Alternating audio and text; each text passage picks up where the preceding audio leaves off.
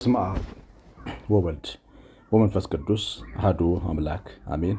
እጅግ የተወደዳችሁ በክርስቶስ በሰማያዊ ስፍራ በመንፈሳዊ በረከት የተባረካችሁ እግዚአብሔር ብዙ ጸጋ ብዙ ምሕረት የጎበኛችሁ እግዚአብሔር ልጆች ተወዳጆች ክርስቶስ መስቀል ላይ ዋጋ የከፈለላችሁ በእናንተ ላይ ያለ እርግማን በእናንተ ላይ ያለ የትኛውም አይነት ጭንገፋ እንዲወገድ በመስቀል ላይ እርግማንን የሰበረላችሁ ብሩካን እግዚአብሔር ልጆች ሁላችሁ እንዲቆያችሁ ሁሉን የሚችል አምላክ እና ጌታ እስከ ዘላለም ስሙ የተወደደ የተመሰገነ ይሁን።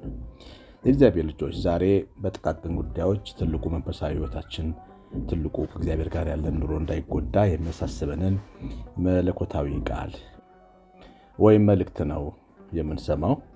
በእግዚአብሔር ቃል መጽሐፈ መኃልየ መኃልየ ሰሎሞን ምዕራፍ ሁለት ቁጥር 15 ላይ ወይናችን አብበዋል፣ የወይናችንን ቦታ የሚያጠፉትን ቀበሮዎች ጥቃቅኑን ቀበሮዎች አጥምዳችሁ ያዙልን የሚል ቃል አለ። እንግዲህ ይሄ ፍሬያማ በሆነ እርሻ ላይ በእስራኤል ገበሬዎች ዘንድ የወይን እርሻቸው የሚያፈራበት ጊዜ ከሚጠነቁባቸው ጥንቃቄዎች አንዱ ፍሬው በቀላሉ የሚወድቅ የሚጎዳ ስለሆነ ወይን ጥቃቅን ቀበሮች ለአደን የማይመቹ ትንሽ ተብሎ የሚናቁ የማይታዩ ዓይን የማይገቡ ግን በጣም ከፍተኛ ውድመት በእርሻው ላይ የሚያመጡ ቀበሮችን ማደን እንደሚገባ የሚያሳስብ የቅኔ ትምህርት ነው።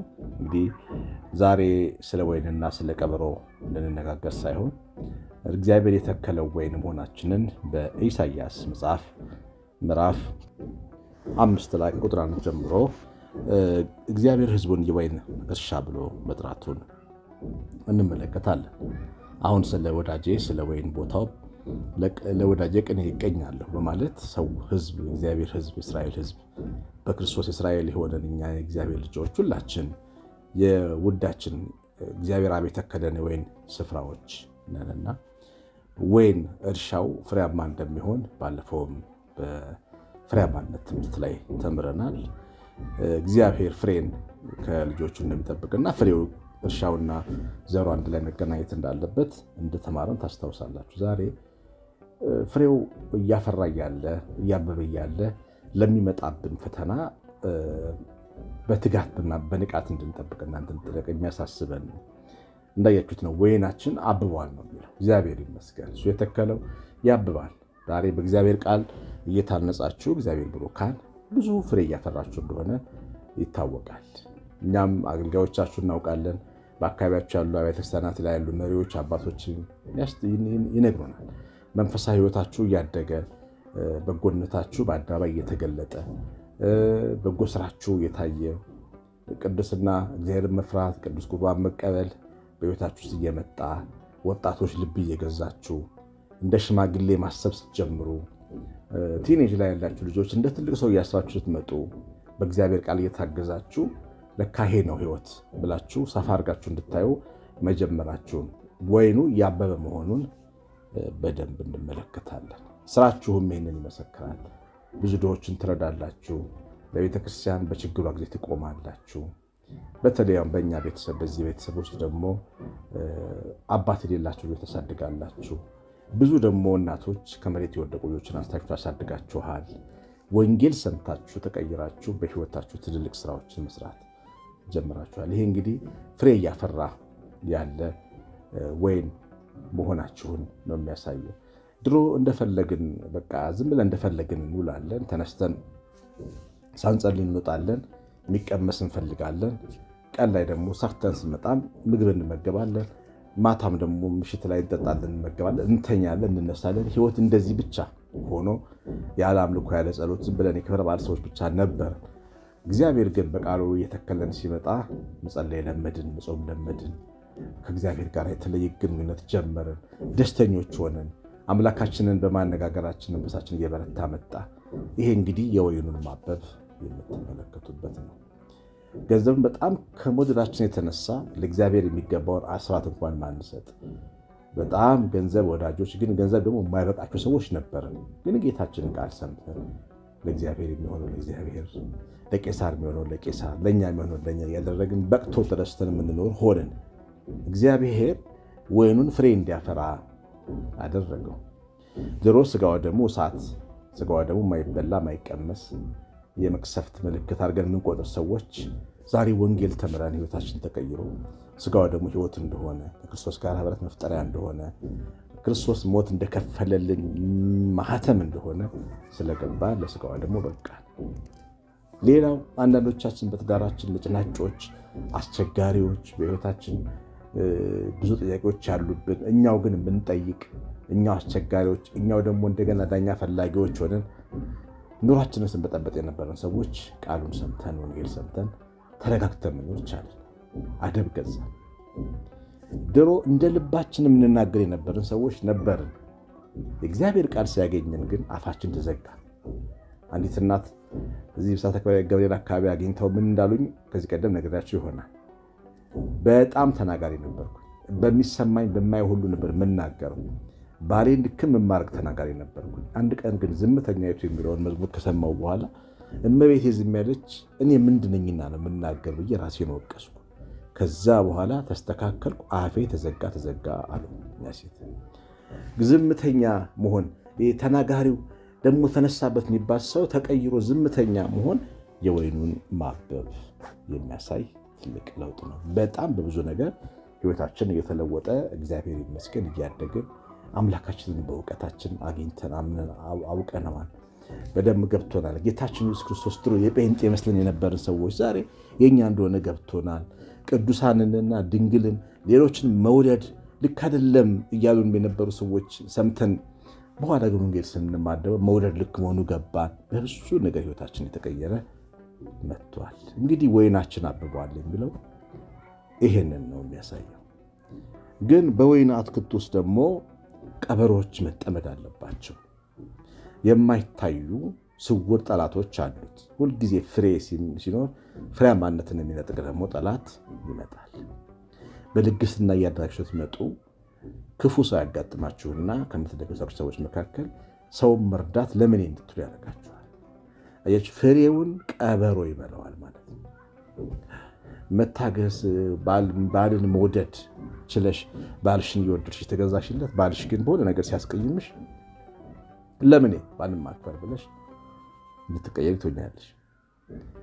መሰረት ከሌለው ፍሬው መሰረት ካልያዘ እንደምታውቂው ነው። ግን መሰረት ሲኖረው ፍሬ ሲያፈራ ግን ቀበሮዎች ወደዛ መሳባቸው አይቀርም። አሁን ግን ጸሐፊው ጠቢቡ ሰለሞን አብዝቶ ያስጠነቀቀን ጥቃቅኑን ቀበሮዎች እንድንጠነቀቅ ነው። ጥቃቅን ቀበሮች አሁን በእኛ ሕይወት አንጻር ምንድን ናቸው? ግድ የለሽነት የመጀመሪያ። ምንም ነገር ላይ ግድ ማጣት፣ ብደክምም ግድ ማጣት፣ ብበረታም ግድ ማጣት፣ ለመልካም ስራ ስንጠራ ግድ የለሽ። ለሁሉም ነገር ትምህርትን እንኳን share ለማድረግ ግድ የለሽ ሰዎች የግድ የለሽነት መንፈስ ከኛ ትከሻ ላይ መላቀቅ አለበት። ጥቃቅን ቀበሮዎች ናቸው፣ ይበሉታል። ያደግንበትን የሰማነውን የታነጥንበትን እግዚአብሔር ቃል ቀስ እያልን እያጣነው እያጣነው ነው የምንመጣው በግድ የለሽነታችን። ሌላው በትንሽ በትልቁ ሲደክመን ጸሎት መተው። ደከመኝ ብለን ሳንጸልይ እንተኛለን። ሰዓት ረፈደ ብለን ሳንጸልይ እንወጣለን። ጸሎት ሰዓታችን ይቀራል። ይህንን እንለምደዋለን። እየጸለይን በነበረ ጊዜ እኮ በትልቅ ጸጋ ነበር የምንወጣው። ሞገስ ነበረ እኮ በእውነት ነው የምላችሁ። ክፍት በር ነበር እኮ የሚገጥመን። ግን ድካም ሲጫነን ቆይ ደከመኝ እያልን ስንጸልይ መጸለይ ስናቆም በሮች ይዘጉብን ጀመር። ድካማችን ሌላ ችግር ይዞብን መጣ። ቀበሮች፣ ጥቃቅን ቀበሮች እግራችን ስር አሉ ማለት ነው። እነዚህን አጥምደን መያዝ ያስፈልጋል። ይሄ አድናቆት በተለይ ቅዱስና መንፈሳዊ ነገር አድንቆ ብቻ ማለት አቤት ዛሬ የተማነ ምን አይነት ሰባኪ ነው? ምን አይነት ዘማሪ ነው? ይሄ ከባድ ቀበሮ እንዲህ አይነት አባባል ምንም የህይወት ለውጥ አይታይም። የሰባኪ አድናቂ የዘማሪ አድናቂ ብቻ ሆኖ መቅረት። ትልቁ ግባችን ከዛ ዘማሪ ጋር ፎቶ መነሳት ወይ ከዛ ዘማሪ ጋር ተቀምጦ መታየት ከዛ ሰባኪ ጋር ለቃሉ መልእክት ትኩረት ማንሰጥ። ቀበሮቹ ጥቃቅን ናቸው፣ አይታወቁም፣ አይታዩም። ከአይን የተሰወሩ ናቸው፣ ስሜት ውስጥ ያሉ ናቸው።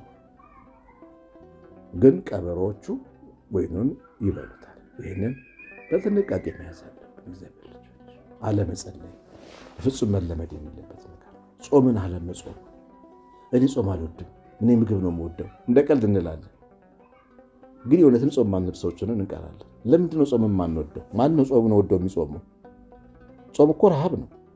ለእግዚአብሔር የምንወደው መተው ነው። ማን ይህን ይወዳል?